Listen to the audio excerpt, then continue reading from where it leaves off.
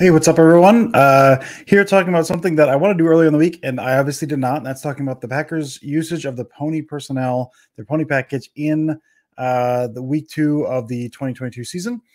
I actually recorded this already, uh, and I did not like how it went, and everything went terribly. So we're going to give this another shot. And so we're going to talk about this real quick, and I'm going to go ahead and, and we'll just kind of set this up. So we're going to talk about first of all what pony package is, why you use it and and kind of the basically what you're trying to get out of it. And then we're going to walk through all 11 of the Packer snaps and pony personnel. So what is pony personnel?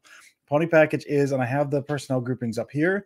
Pony package is essentially it's it's at least 21 personnel. It could be 21, 22, 23. And as a review, the personnel packages are the first number is a number of running backs, so it means two running backs.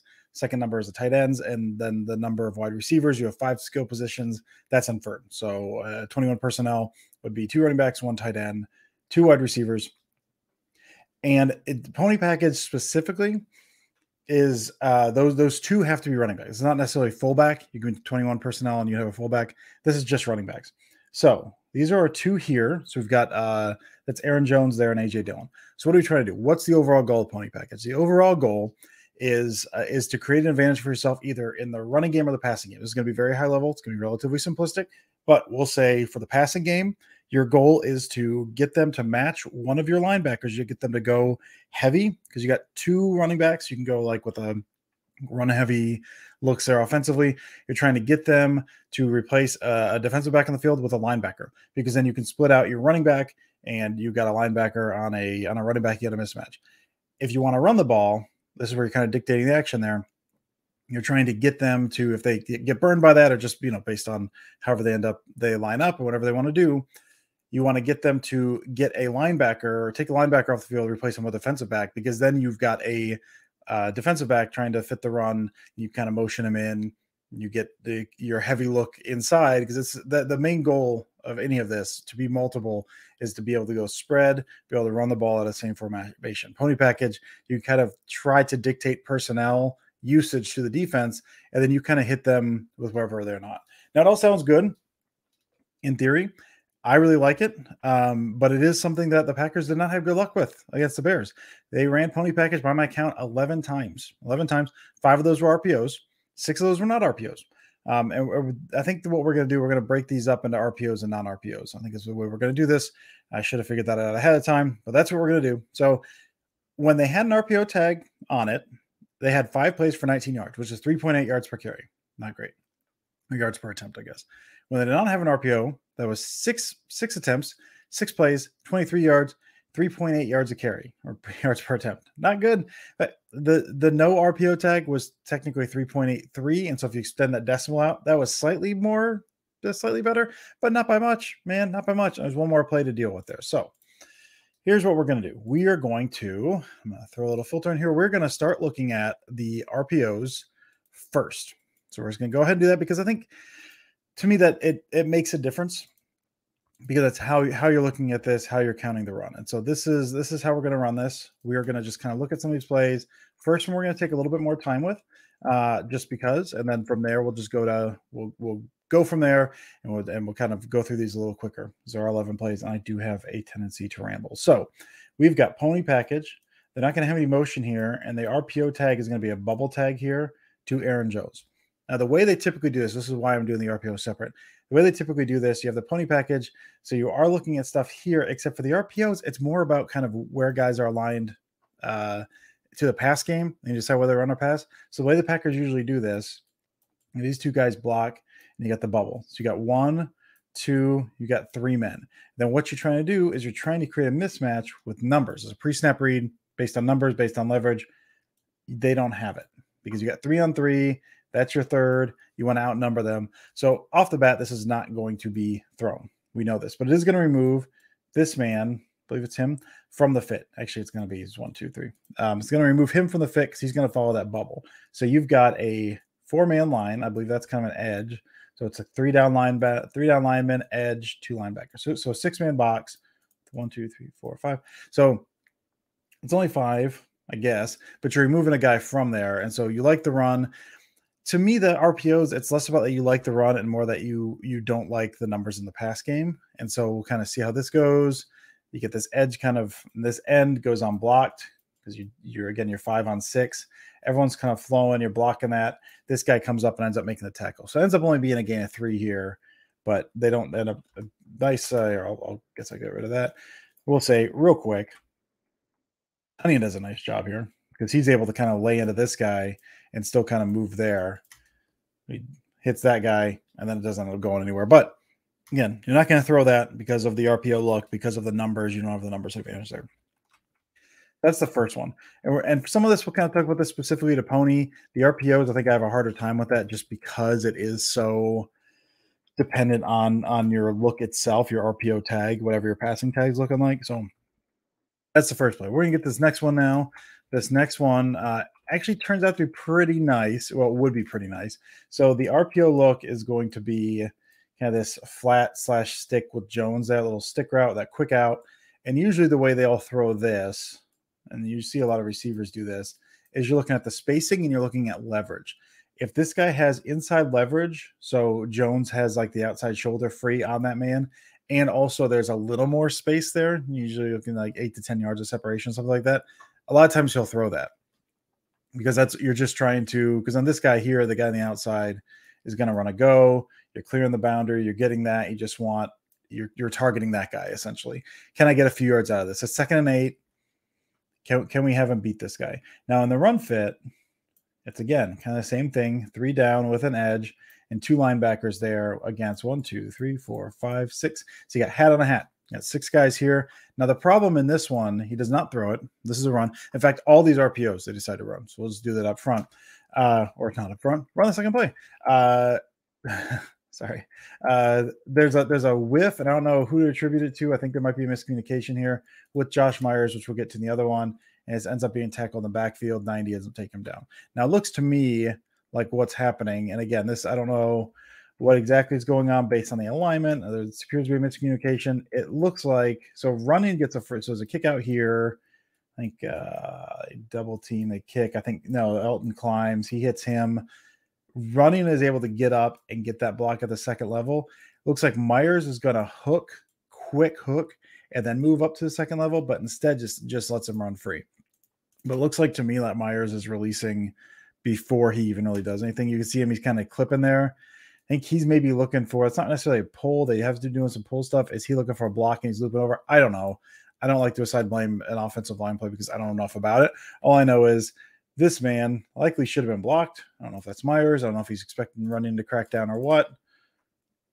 And ends up being tackled in the backfield. It's a good call on the run. Again, like you could see him pass on the stick because there there was a little bit of space there. There was space that they normally throw to, but with head on a hat blocking up front, you kind of like that run look there. So I don't fault him at all.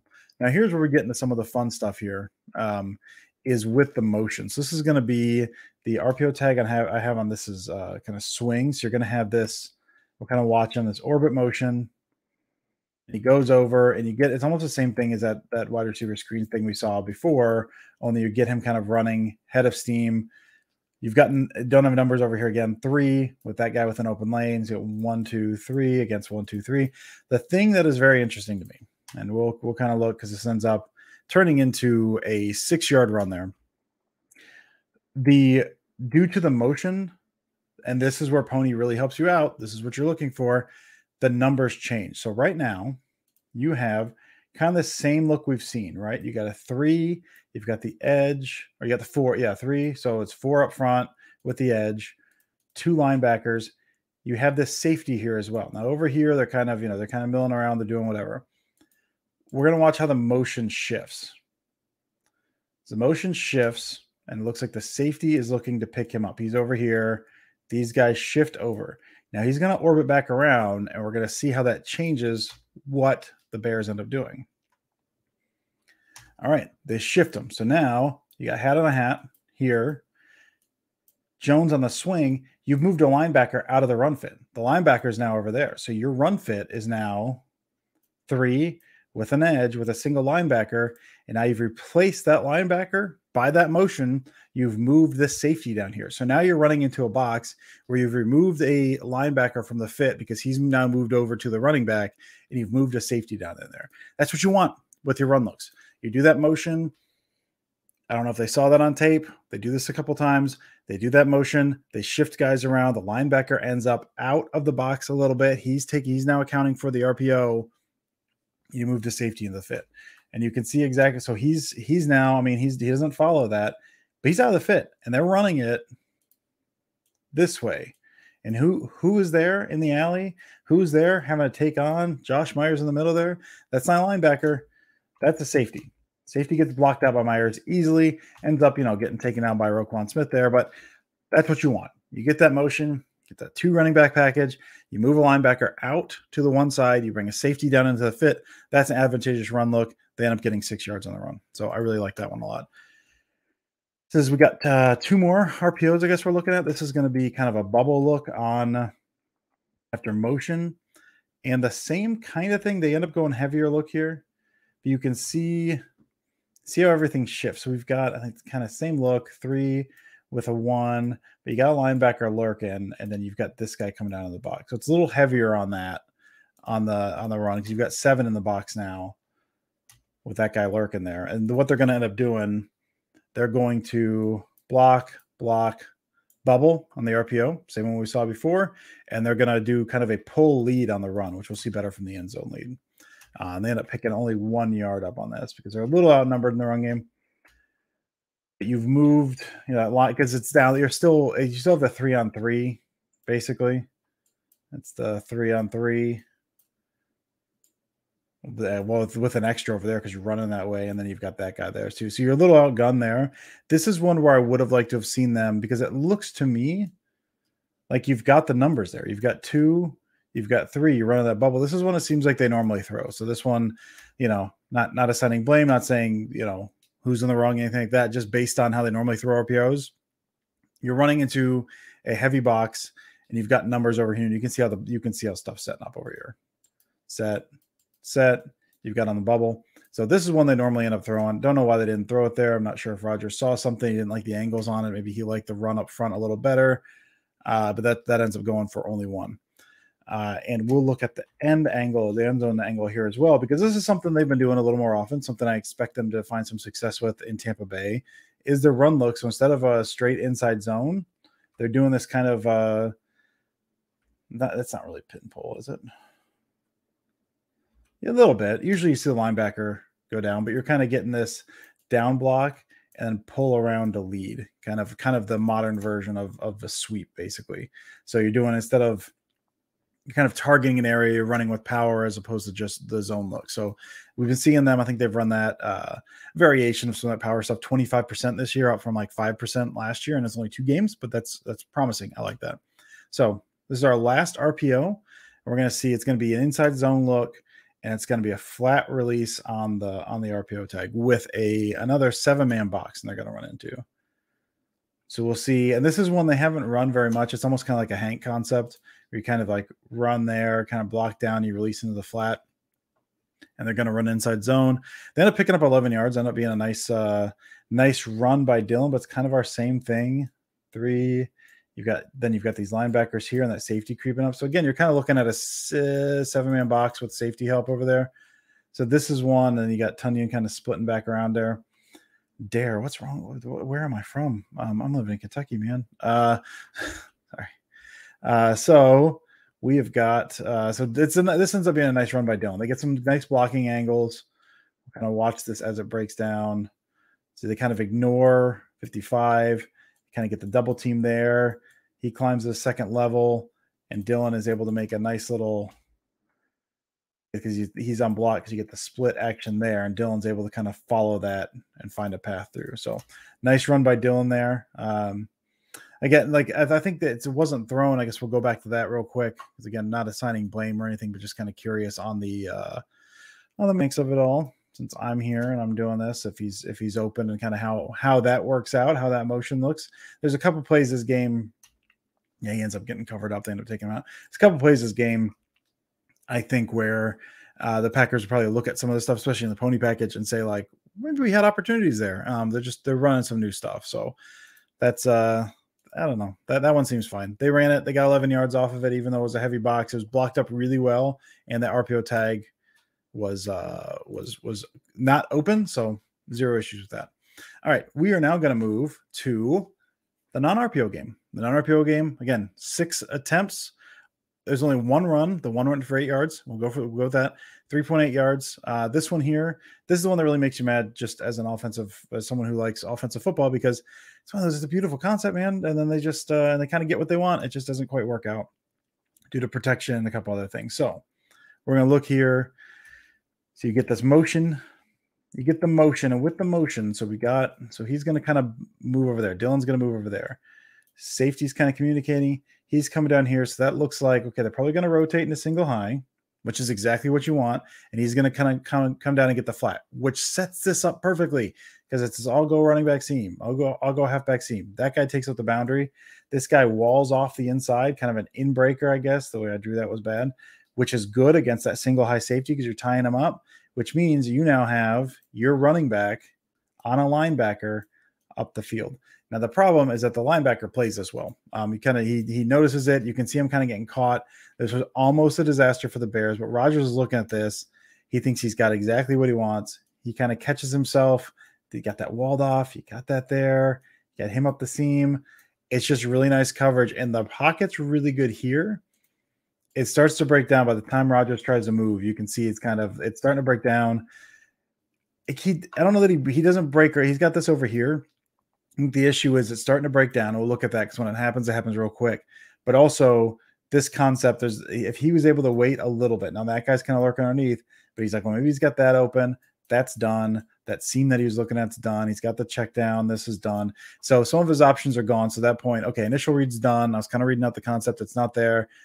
I, if he's going to move there, he needs to buy more time, and it just isn't there. So, again, kind of a. Uh, know you get you got they got what they wanted off of that because you've got a safety in the mix. That front is kind of again that three, three. No, that's wrong. No, it's so it's it's a four two. So you've got this four there, and you've got the two. So they go heavy with the six. One, two, three, four, five. You got those two guys back there but you're moving that safety out of the way and you're getting Aaron Jones up the seam on linebacker. So you get exactly what you want. It just doesn't quite work out. But I like this look. This concept as a whole has been somewhat disappointing. Uh, we saw in week one, they kind of ran a different variation of it as opposed to this one because defenses are kind of clouding over this stuff at this point. They see the motion, they're really getting really good at picking it up. Um, so wouldn't be shocked to see some differences there. We'll go from that, which, you know, defense ruined to a really nice one. I really like this. So a couple different things on this one. This is the touchdown run with AJ Dillon working as lead blocker. A couple things I really like about this one. The one, Sammy Watkins is looking to block Roquan Smith. He's going to block that out there. Roquan, when they get to that point, kind of bubbles over the top. So Sammy Watkins very well kind of just moves to the next guy. AJ Dillon is able to get there. You get that jet sweep around the edge and just all the way to glory. Now we're going to look at is that guy there because he kind of runs. He has to you force him to run through a whole lot of traffic. There we go. And what they came out with, and this is you know in the in the red zone here, kind of another is that three, kind of a three three, I think, with the edge. So you've got those three down, the one guy on the edge, you got the two linebackers, and you're forcing. You've got you've got your guy on a defensive back but you're essentially running the ball. I mean, it's a it's a pass, but it's essentially a run. You know, you're you're forcing him. You see, he had to kind of navigate his way through. Now he's there, and you get a block there. Roquan's going to go over the edge. You're going to get a block there, and then he's just going to kind of follow him. So this was we don't spend a whole lot of time with this one, but it's really nice. Um, again, you kind of get that. I guess a bit of a mismatch. You get Jones on that uh, on that corner on the other side, who then has to fight his way through, and he just he can't quite get there, but you've got that extra body on the field. Red zone's always a little little odd anyway, um, as far as what the personnel groupings look like.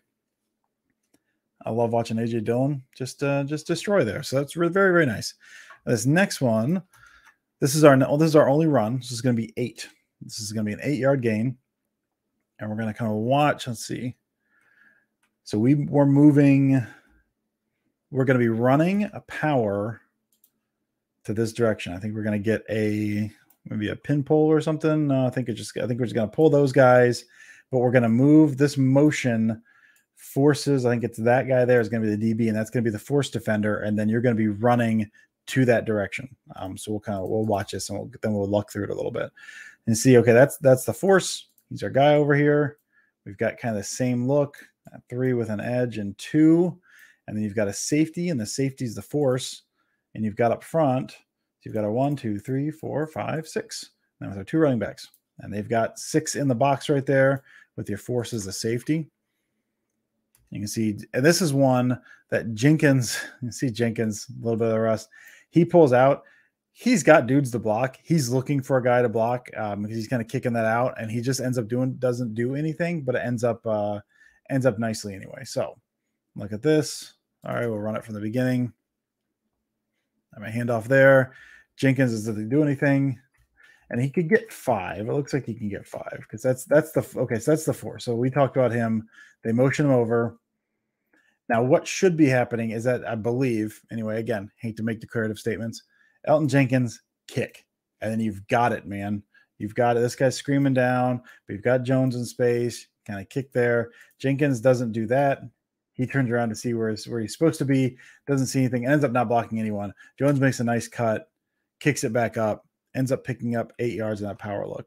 But yeah, that's what you want. You're putting, you know, you're you're running to that side when that guy moves over, all right, we've got this guy over here in a big motion, a big, big, uh, big place, and we're kicking power. So we're attacking that side with Jones. They're going to run Dillon out that side. That's the matchup you want. Get that safety down there, trying in a, in a big spot down there, trying to kind of force that back in. And ultimately, he does. I mean, the the block, uh, you know, Elgton Jenkins does not see him, uh, so he does force that back inside, but is not able to make the tackle. That's what you're looking for right there, man. With that, you, you, again, hunting mismatches, hunting mismatches. So we're gonna look at uh, this next one. This ends up being, I believe, incomplete through no fault of anyone really. Uh, but let's see what we got. So we've got a motion with six. So that's a DB right there, and they end up shifting back over. So again, you've got now you've got you've got a, a, pretty good little you're moving guys around. You're you're doing some motion. We're going to look at this guy here. See he moves linebackers bump. He's coming over. Orbit motion back over and you've and you've you've moved that guy so he's now over to this side kind of put him in a position. You basically navigated him where you want him. You're going to run a scissor concept here. So that's kind of a post corner. And there's not really anything there. This ends up being covered up. You know, he's kind of falling back into coverage there. You've got him camping out over there. But what he's doing, then he reads and he goes down to Dillon. And this is one, I don't know if something happens to Rodgers. We'll keep an eye on him. He misses Dillon. There's an ocean of room out here, man. Just an entire ocean of room. So he misses him. He falls down. Rodgers kind of, I don't know, he's holding his hand. He's looking down his foot, something. I don't know if he didn't get hit. The ball didn't get tipped. I've watched this a thousand times at this point.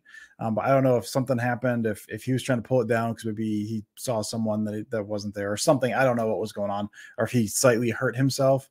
Um, but either way, ball goes into the ground and it's not great. But you've got, again, so you've moved this guy over here. You also have the linebacker here who's then uh, going to be on Jones in the flat. So you've kind of you've manipulated this guy into moving over here, and you've also got a matchup with Jones in the flat against the linebacker. Ultimately, does not go there, but you've you've got you've got some of that. You didn't go there because he's got Dillon, and then he just misses Dillon. We've got two more here we're going to look at. So this is going to be against a what a three. Yeah, you got that guy there. You got those. Same kind of look that they've been giving. You motion them out. And here we go. That's that's exactly what you want here. So you're going to run this little we'll talk about that, I guess. And he kind of gets them out there. You kind of like to see almost like that in space, but you've got this. Uh, oh, let's run it back all the way as I as I continue to ramble. The motion, you've got the the the way the defense is. You've got the two guys over here. You've got an end, and you've got this linebacker and you've got these two high. So when you motion him out, the linebacker has to pick him up. You can see that based on structure, unless they're going to walk that safety down, in which case, then even if they walk that safety down, which they're not, because it looks like they're kind of they're doing that over here. If you walk that safety down at the time, they're telegraphing what they're doing because they're trying to they're, they're staying that too high, they're looking too high. You've at the what you've done by motioning is you're either getting your line of the linebacker on your running back, which is good, or you're getting them to, to declare or leaving him uncovered if they try to like fake something after the fact and it's not there, or you're trying to get them to declare. if the if, so you've either got a linebacker or you've got the safety walk down, and then you know you've got single high, and that that gives you some information there. As it is, you get Aaron Jones on a linebacker. He ends up running like this little slant. They end up uh, running kind of a dragon route over there. Rodgers throws high and late and ends up being incomplete. But that it's a good look. I mean, again, kind of the information you can get, the mismatch you can get from doing that. I think uh, I I like that even if ends up being incomplete. Our last one we're going to look at. This is a call I really really like. So again, we're going to look at uh, same look. At three of two, so you got a light box. You've got the two backs back here, your pony package guys, the guys you like in your pony package. Roger's kind of looking. Can't remember if they motion anyone. They motion. You've removed a man from the fit. This guy is now out. You've got a block and a block. And what they're going to do, and you can see why they don't throw this in a second. So they motion, they get Dillon out. So what they're going to do is they got a wide receiver screen option over here. Then you're also going to have a running back option to Aaron Jones over here. Now, so you've got, like I said, with the RPOs, hat in the hat, you count your numbers. You'll see based on the splits with coming, this guy has a free lane, and we'll see that better from the other angle. But He's got a free lane to come through there. Roger sees that and doesn't end up throwing it. And so he ends up coming over on the screen. Jones makes a guy miss. Watch, it's uh, this guy here. Safety coming down. Jones makes a nice step back, makes a man miss. Oh, and there he goes. He's got 15 yards. Now, this is one when I said earlier that they that there's some things in the game that maybe they would uh maybe they could use take going forward a little bit. Uh, this is one of them here i think because what you've done again you've kind of you've got this box look here with kind of the same we've been seeing the down lineman the edge. So you've got six on one two three four five. So you got okay you're a bit overmatched there. They've got they're outnumbering you because you got the two running backs in the backfield. You motion a guy out. You see him following. You see him following. That's not what i want to do you want to do. When you see him follow now so we'll we'll, we'll x him out because he leaves when Dillon goes. One two three four five. One two three four five.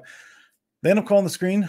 That's fine but this is definitely one where you can kind of see maybe the next matchup or something. Hey when we when we do this they've got this look we can you know we might be able to do something there. Again this is all hindsight and i don't hate the call because they end up they end up doing something with it. But there is an unblocked man. Um, that Jones has to make miss. But you do with that motion again. You had six on five. You removed a man from the box, and now you uh, and now you've got a light box. So, yeah, I don't know if I did. I still don't know if I did the best job here, man. I'll be honest with you.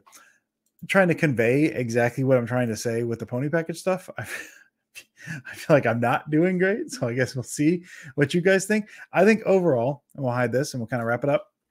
I think overall, look at the Packers pony package it wasn't great. Again, RPO, non RPO didn't matter. 3.8 yards per attempt uh, in your 11 snaps. That's not exactly what I would hope for. It's not, I'm sure, what the Packers hope for. You hope for for more out of that. They did get the touchdown out of that. They got a couple nice plays out of it. Not quite what you would hope, not what you would expect. But I think there's enough good stuff out there. I think you could see them kind of toying with this. You could see some of the mismatches they were able to create. You could see how they're able to mess with the box, mess, mess with some of the leverage on this. That I do think, even though the numbers were not great, uh, in week two, which was kind of their grand return to pony package. Again, they ran it 2% of the time last year. I think they ran it uh, 10% of the time two years ago. And so, you know, this 13, 16%, whatever it was today, if that's the norm going forward with these two guys, even though I think in week two did not go particularly well, I think enough stuff is there that it still can be an effective package for them, uh, provided they decide to keep running it. So, I hope you learned something as I stumbled around.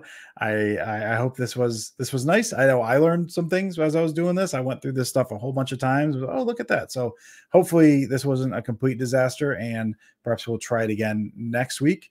Uh, until then, I guess I will. I don't know. Until then, I'll talk to you then. That's not a good way to sign off. I don't know. Bye.